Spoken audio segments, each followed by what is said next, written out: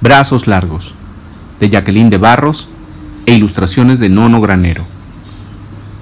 Mi abuela y yo nacimos el mismo día y a la misma hora. Ambas lloramos al vernos por primera vez. Nuestros nombres tienen mucho en común. Ella se llama abuela y yo nieta. Abuela y yo paseábamos juntas por el parque. Al principio caminábamos como dos señoras patas. Meneito por aquí, meneito por allá. Y es abuela tiene los pies planos y yo comenzaba a caminar. Pasó el tiempo y a ambas se nos cayó nuestro primer diente. Yo lo puse debajo de la almohada esperando al ratón Pérez.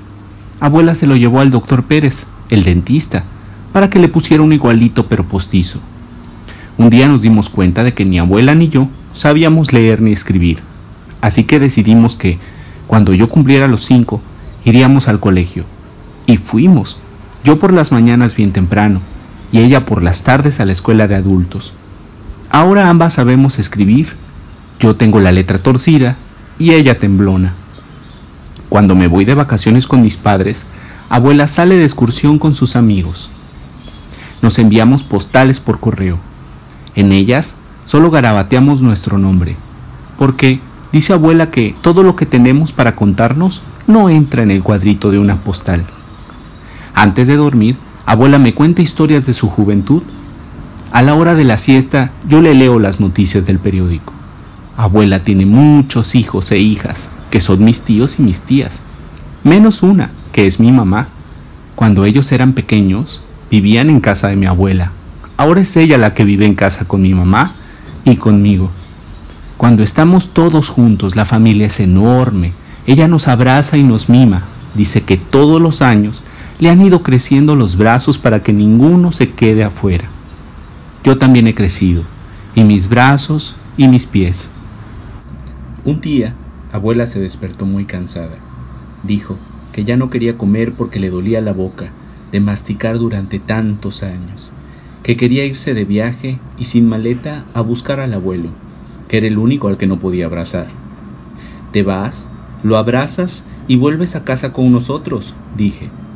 No, querida, quiero irme con el abuelo para volver a estar juntos otra vez. No sé por qué, pero me puse muy triste y lloré. Y si una nieta llora, la abuela llora también. A partir de ese día, abuela no quiso moverse de la cama. Me acurruqué a su lado y le hablé de cuando aprendimos a leer, de su letra temblona, de sus brazos largos y de mis enormes pies.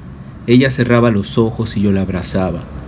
Pasamos así varias semanas y un mediodía a la hora del almuerzo mordió primero un trocito de papa, después tomó una cucharada de sopa y luego dos. Y una mañana cuando el sol se levantó de la cama y salimos juntas a caminar por el parque, caminamos despacio como dos señoras patas, meneito por aquí, meneito por allá.